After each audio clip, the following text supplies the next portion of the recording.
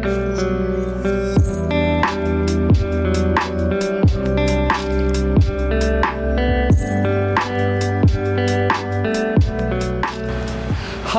my name is Robin Wong. In this video, I want to talk about a new lens that I got for myself, the Olympus M Zuiko 75 f1.8. In one of my recent videos, I mentioned that I got two new products. One was the Olympus OMD EM5 Mark III, which I'm using to film myself in this vlog, as well as a new lens, a lens that I've been wanting to get for some time now. Finally, I got my hands on one, the Olympus 75 f1.8. It is now in my camera bag. Initially, the Olympus 75 1.8 wasn't really a lens that I'm desperately wanting to get, mainly because the focal length of an equivalent 150mm is not something that is easy to use for general photography.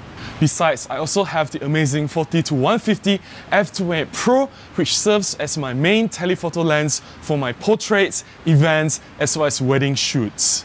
However, in my recent shoots, I've encountered more than one situations where I wish I had the 75 f1.8 lens with me. Therefore, in this video, I want to explore the four main reasons why I've decided to get the Olympus M Zuiko 75 f1.8 lens. Reason number one, to replace the Olympus M Zuiko 40 to 150 Pro in some situations.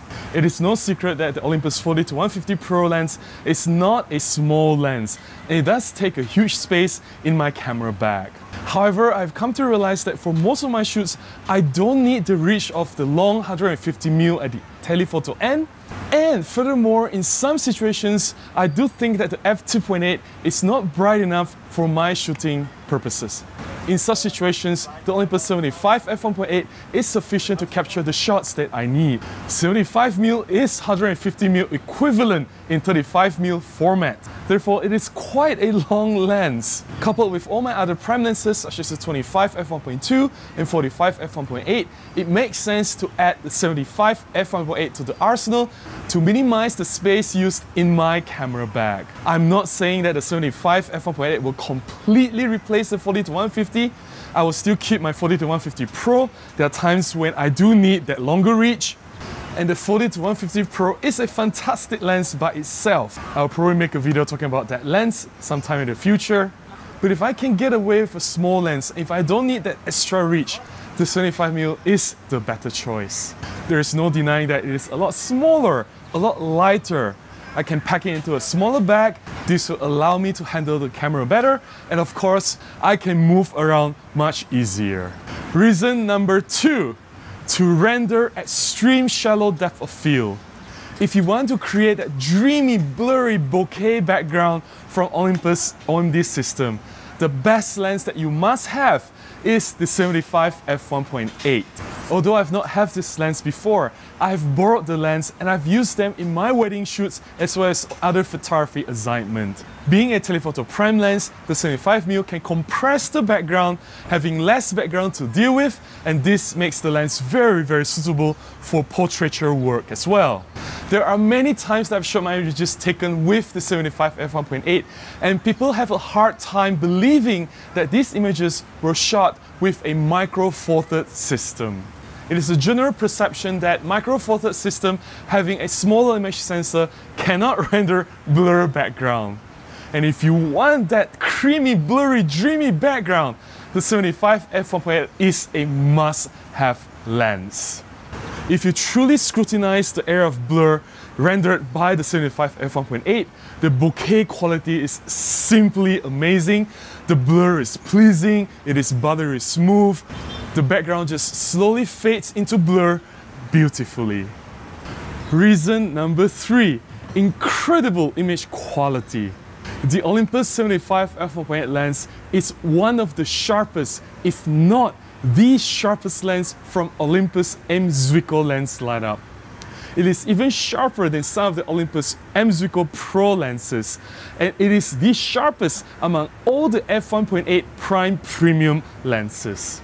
There is no denying that every single time that I use a 75mm f1.8, although I don't use it a lot in my shoots, maybe just about 10 to 20% of the time, a lot of the photographs that I've taken from the 75 f1.8, they are the keepers and they are the money makers.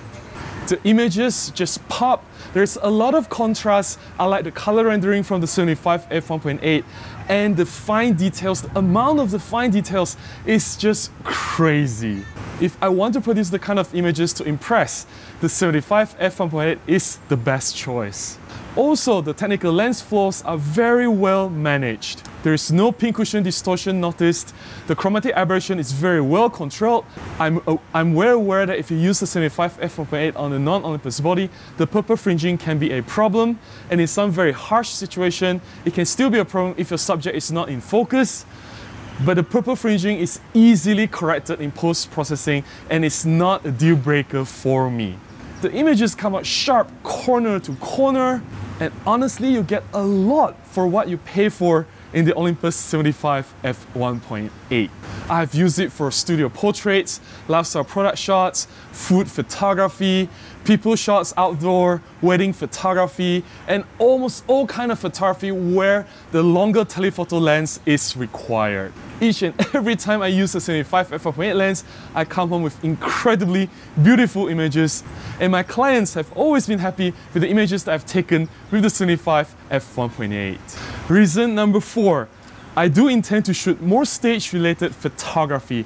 I've been shooting mini concerts, I've been shooting live music performance, I've been shooting theater and also dance performance.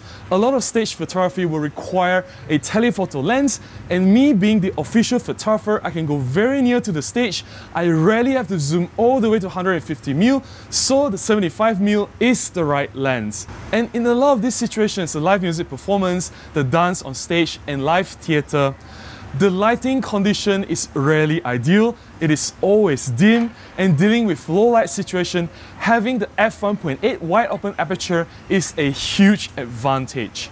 If I'm using the 40-150 Pro, I would be using the f2.8. Say that if I need ISO 6400 to sufficiently freeze motion blur, using the f1.8 75 lens, I can get away with maybe ISO 3200 or even lower knowing that micro four thirds system is not the best when it comes to high ISO shooting. Being able to keep the ISO numbers as low as possible is important for me to maximize the image quality. In fact, in most situations, with ISO 3200 or 6400 and f1.8 open aperture, this was sufficient for me to achieve 1 over 100 to 200 of a second of shutter speed. This was sufficient to freeze minor motion.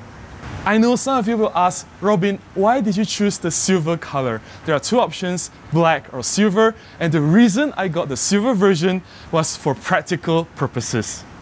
In very low light environment, which I do shoot a lot with my OMD cameras, sometimes it is so dark that when I open the back, everything in the back just look pitch dark. And it is very difficult for me to differentiate which lens is from which, and I have to physically feel the lens in the camera bag gauge the size of the lens to know, oh, this is 40 to 150, oh, this is a 25 prime, and oh, this is a 45 prime. All the lenses look the same in the dark and they are so dark, the only telling difference is the size. When I have the silver version, it is a lot more reflective, it is actually very visible, and I can identify that, hey, this is the 75 lens immediately. I know that it is a very odd combination because my main camera is the EM1 Mark II. It is black in color. Matching it with a silver lens, it is sort of like a fashion disaster.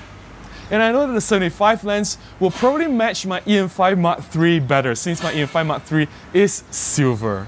Nevertheless, for me, to be entirely frank, for me, it is always function over aesthetics. As long as the 75 f1.8 produces the excellent results that I seek, it does its job, it doesn't really matter if it looks a little bit mismatched on my EM1 Mark II. There you go, I've shared my four reasons why I got the Olympus 75 f1.8 and how it's actually working for my photography jobs and commercial shoots. I am not going to use the 75 f1.8 a lot for my shutter therapy session. I think the 75mm lens is a little bit too long for street photography. I prefer to use the 25 or the 45 lens when I'm shooting on the streets. I admit that the 75mm lens is not an easy lens to use, it requires a longer working distance and you do need to step back quite a fair bit from your subject to have the enough coverage in your framing. However, if you find a use for the 75mm lens, and it is a very specialized lens, if you do have some use for the lens, the images that you take from the 75 f1.8 lens will blow you away. I hope you have enjoyed the photographs that I've shared in this video. If you have owned the Olympus 75mm lens and if you have used the 75 f1.8 in your own photography, please share your thoughts with me in the comments below. I would love to hear from you. If you have liked this video, please give me a thumbs up. Please consider subscribing to this channel and I hope to see you again in the next one. Until then, please remember to go out and take more photographs. Bye bye.